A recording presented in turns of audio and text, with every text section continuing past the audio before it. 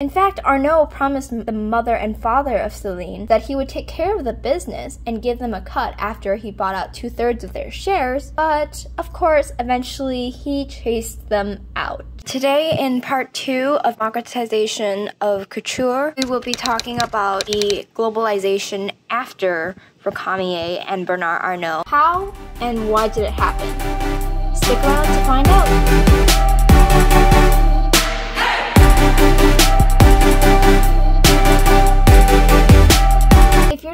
Welcome. If you love couture style analysis, aka CSA, then like, comment, sub, and ring that doorbell to get notifications of a weekly CSA PSA hot off the press. I've been reading Deluxe How Luxury Lost Its Luster by Dana Thomas. It formalized a lot of things about the globalization of luxury after it became public from the small founders' time. Without further ado, let's jump into how that happened. Target audience.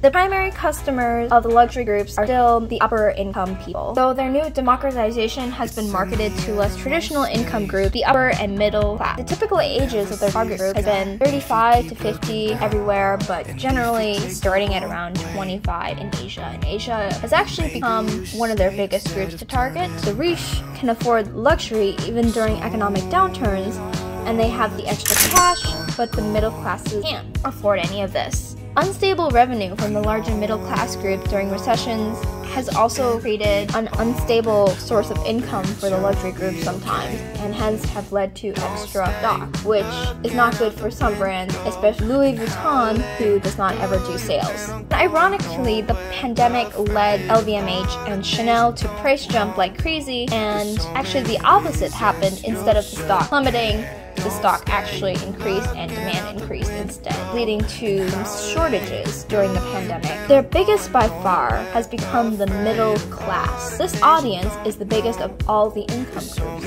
And if you were to imagine the income groups like a bell curve, you can see at the end are people below the poverty line, which starts at the lowest of the bell curve. Then it gets to be below the middle class. And then the biggest group right in the smack dang center of that bell curve is the middle class, which is the middle of the bell, the upper middle class, and then the smallest group, the little pinpoint you see at the tail end, yeah, that's the rich people. Luxury corporations say they make it accessible to democratize it. But really, who are we fooling? Come on. It's capitalism because they saw the middle class had money as well. They saw that not only did the middle class have money, like the upper class, but they were the biggest group of all of the income groups. So they knew they had to milk it somehow. And if the middle class didn't have money, then then they wouldn't have marketed the middle class in the first place, and they would still be hunting the rich in the big leagues for more expensive items. Though they still would make small amounts of profit from the middle class, such as perfume or cosmetic, to lure them into the luxury world, they still would make some profits. So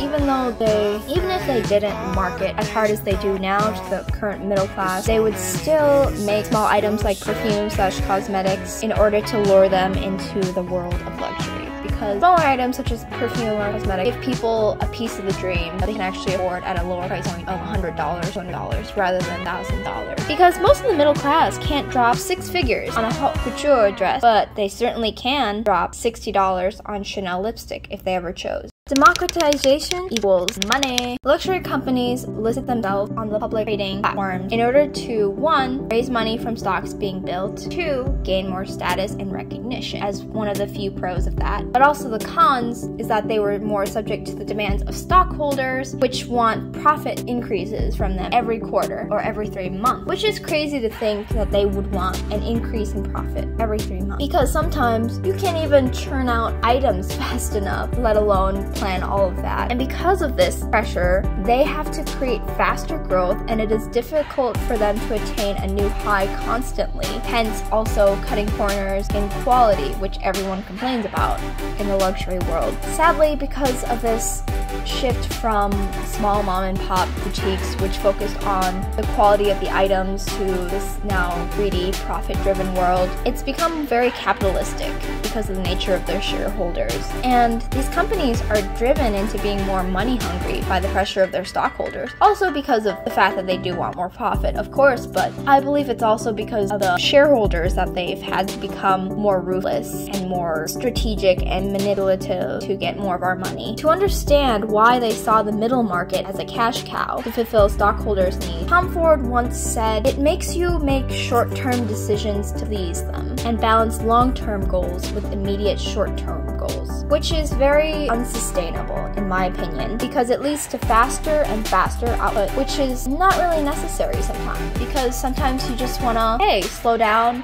and appreciate the quality that you're making and make sure it's right before you release it out. But no, they can't do that because they're under this increasing pressure by the stockholders. And it's kind of ridiculous to the point where even Chanel has six seasons for collections every year when only four seasons actually exist in a year. There's 12 months in a year, and if you're coming out with six seasons every year, you can bet that, that they're only releasing six collections every year, probably because shareholders creating this intense amount of pressure on them. And it's crazy to think that in some luxury brands such as Chanel, which have six collections in a year, if you divide that by 12 months, that just means that each season is just two months long. If you think about it, if it takes a month for the item to be in the boutique and there's a hubbub of craze to get the item in the first month and you try to get the bag because of FOMO, fear of missing out, after about a month when you finally get the bag and enjoy it that month after in the second month and you get to wear it out with your outfits for a month, you enjoy it and you post it on social media. You then learn the new collection is coming out in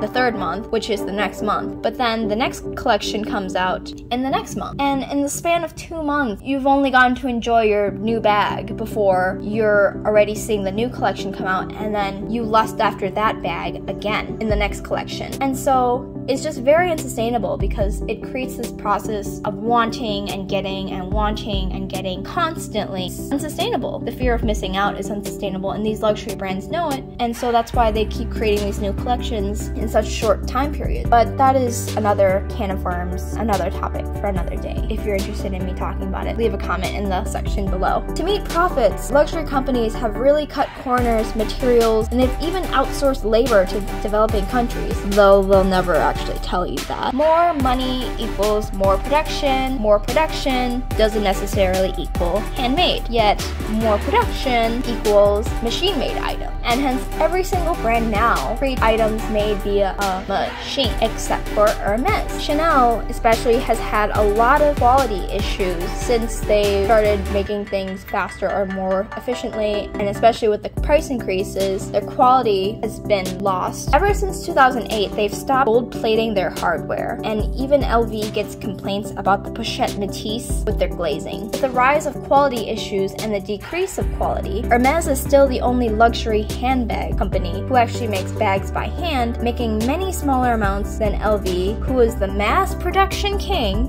but they still make their bags two to five times more expensive than how much LV bag costs. And even with the price markup, where one Hermes bag equals a few LV bags in sale, LV makes way more revenue yearly. See here in these pics. In quantity to them means more dough. And take a moment to consider the lack of quality control because of decisions to maximize profits for shareholders. Because when they cut corners, it means more profits for them, and with more profit, it means they have more happy shareholders who continue to buy stocks in their company. So happy shareholders equal more shares, and more shares equals more fundings for the brands and more status. McDonald's is, is available in different countries, known to different ethnicities, races, and many economic much like LVMH, and it is truly democratic in accessibility to the public. And LVMH, in How Luxury Lost Its Luster by Dana Thomas, is compared to McDonald's as a globally far-reaching and widely recognizable company because it also has locations in multiple countries. It is reaching many different races because I've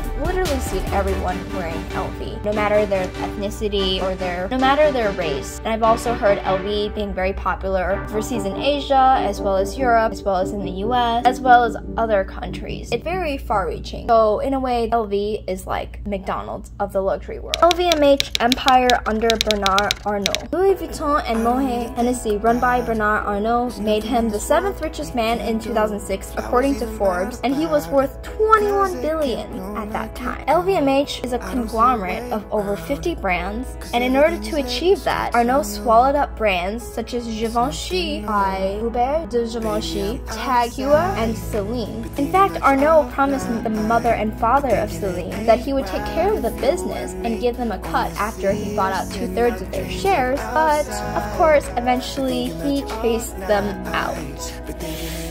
Sorry, Mom and Pop. He told Celine and Richard, the founders, that, oh, run along, old Grandma and Granny. You should take a rest now and let me take over. You need a vacation. You're not suited for this work anymore. Ouch. Bernard is horrible because Racamier, who bought out Givenchy from owner Hubert de Givenchy, allowed him to remain designer until retirement, and Racamier at least did him a favor that way. But Arnault is horrible because he basically chased out the founders of Celine because he wanted their brand to remain in his list, and he was able to weasel his way into getting them to sign it over and just drop them like the drop of the hat when he had them. How rude. Racamier introduced LV to corporate, yet Arnault was the one who actually globalized and conglomerated it into a luxury group. Racamier sought Arnault to help with LVMH, and his sole objective was growth and did not care about the old values of Louis Vuitton or anything at all. He had basically no attachment to the company. Arnault wanted to conquer brands to make a profit, so he acquired Dior, Burberry, and Gucci. Luxury was run by sole designers back then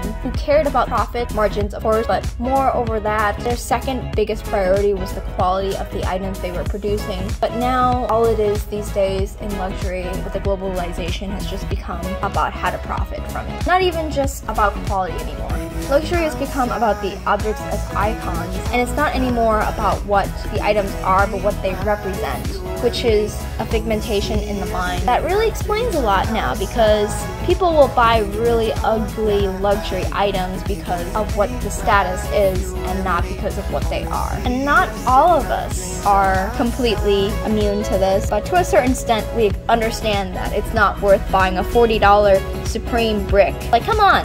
It's just a brick. Yet some people will buy that and they will resell them for over $200. Another can of worms. To show you how tenacious Bernard Arnault is, LVMH had already owned Parfums, Christian Dior, and he wanted Dior. Yet Dior was owned by the Société Foncière et Financière Agache Rouleau, but the French government told him, hey, you gotta buy Agache Rouleau. You can't just buy Dior. He was like, uh-huh, I am going to get Dior, no matter what. So he used his connections and money to raise the money to buy it. And he had connections to the Rouleaus because his wife was a distant cousin. Like rich bougie people they are, he would attend art sightings and he would see them at auction. So that's how he was able to leverage his power to talk to them. He also he convinced Lazard Frères, Lazard Frères, an investment bank who actually had close ties to the French government, to loan him $80 million, which was a majority of the purchase price, and became a powerful person capable enough to be in a position to buy it. If, if I see it, I like it, I want it, I got it. And that's exactly what it, what he got. He actually accomplished acquiring Dior by acquiring Agache Rouleau. I highly recommend picking up How Luxury Lost Its Luster. You won't regret it. It was very eye-opening. Now, I have a question for you. Is it truly democratization for the people, or do you think it's actually capitalism? Leave me your thoughts in the comments down below. Bye!